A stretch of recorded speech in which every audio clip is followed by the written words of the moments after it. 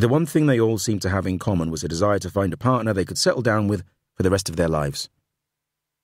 That was what I wanted. It was just unfortunate that there was so much about me which made that difficult. However, I felt cautiously optimistic that, with a woman from a different culture, it might be possible, after all. I felt I wouldn't have the same pressure to reveal myself fully. Everything I read and heard indicated that these women, with their dreams of a Western style marriage, would be more accepting, more pliable.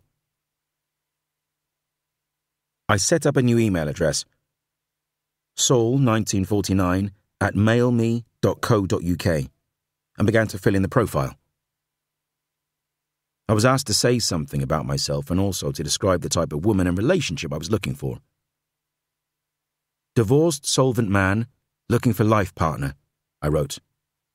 I'm a 33 year old sales executive divorced without children. I have a nice home in a pleasantly suburban UK location.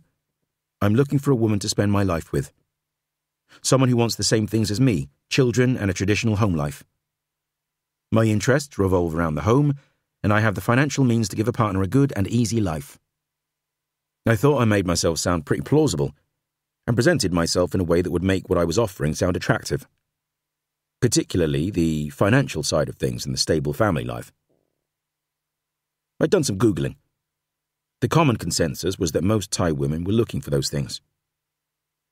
I wrote that I wanted a family minded, traditional woman who wants to be a traditional wife to a traditional husband.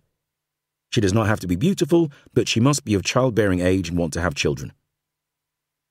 I thought that said it all, and I started to move on to the rest of the registration process.